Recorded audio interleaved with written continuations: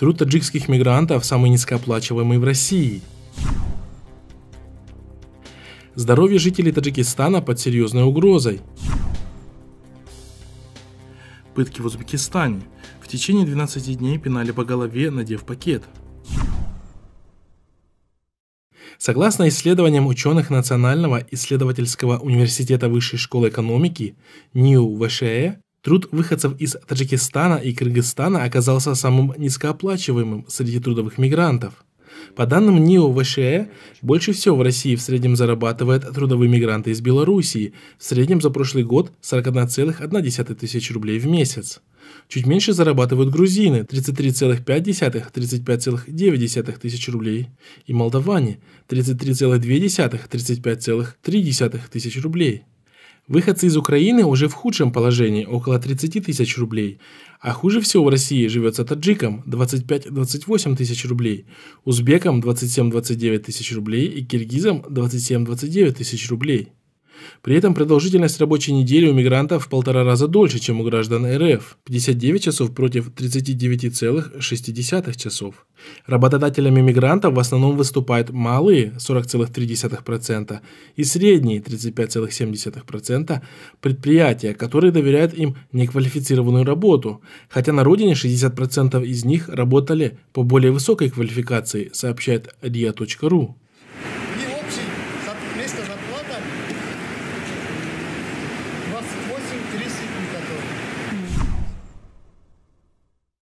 Жизнь и здоровье граждан Таджикистана в некоторых населенных пунктах находится под угрозой из-за китайских цементных заводов. Об этом сообщает Азади.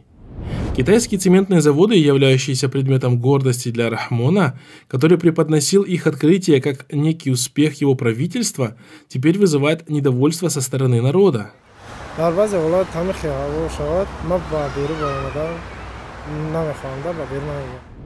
Азади сообщает со ссылкой на жителей Махалли Худжамбио, что население этого района жалуется на сильное загрязнение воздуха. нафаскаши душвор мешавад роҳи нафасро мегирад чанг ғубор ба шишу дили ҷигар залал дорад мы эту пыль потом собираем с автомобилей, с домов. Дышать практически невозможно, сказал один из жителей этого района. Еще один из жителей Махалли сообщил, что ночью выбросов в воздух становится еще больше.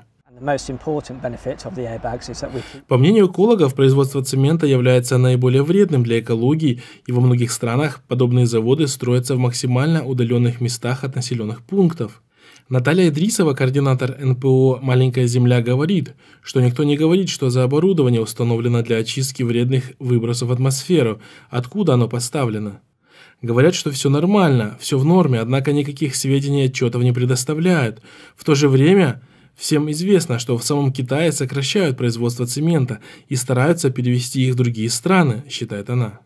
Кроме того, по мнению экспертов, вероятно, что еще 40 лет Таджикистан будет использовать самый грязный вид топлива.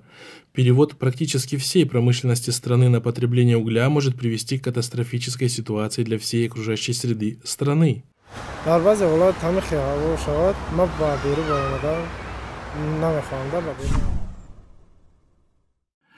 Дочь Насибы Узаковой, задержанная 13 ноября 2017 года по обвинению в экстремизме, в беседе с узбекской службой BBC заявила о применении жестоких пыток в отношении ее матери. По словам Азизы Узаковой, дочери задержанной, вследствие нанесенных в ходе пыток ударов по голове из носа ее матери вытекает гнойная жидкость. Увидеться с матерью ей позволили по окончании следственных действий.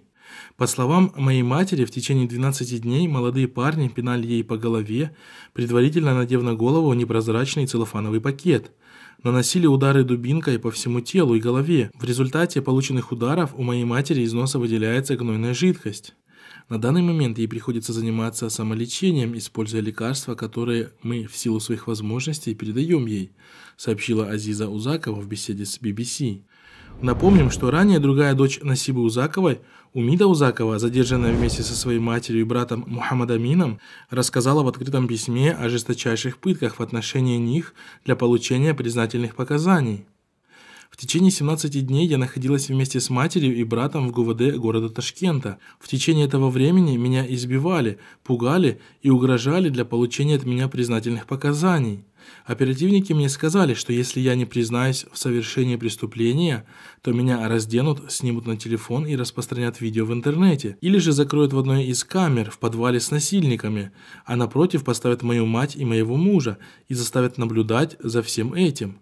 Их начальник приказал раздеть меня и засунуть дубинку промеж ног со словами «Если вдруг умрет, ничего страшного, одним актом спишите» рассказала тогда шокирующие подробности Умида Узакова в своем письме, опубликованном в Фейсбуке.